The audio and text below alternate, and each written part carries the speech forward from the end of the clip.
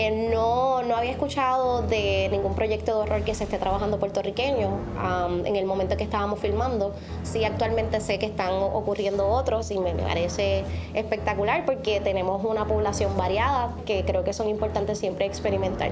De las cosas que más me trajo al proyecto fue el hecho de que esto me parecía un concepto que ya estaba pensado, estaba trabajado, o sea, cuando me hicieron acercamiento, como que ya yo rápidamente pude visualizar el concepto, la visión y que lo que sea que se va a hacer va a quedar brutal. Cuando me dieron la oferta para hacer este personaje, yo rápido dije sí.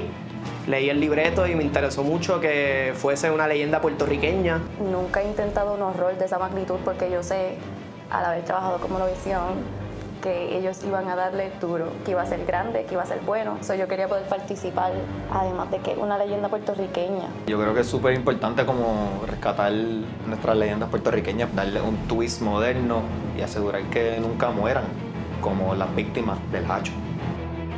Pienso que es importante seguir haciendo cine puertorriqueño y que la gente se entere que aquí hay talento, tanto frente a la cámara como detrás. Me era maravilloso ver a todos los jóvenes trabajando y dando lo mejor para que el proyecto saliera. Y me encantó muchísimo saber y sentir con certeza que la juventud de Puerto Rico está encaminada a que el cine puertorriqueño genuinamente sea valorado y llegue hacia donde merece llegar.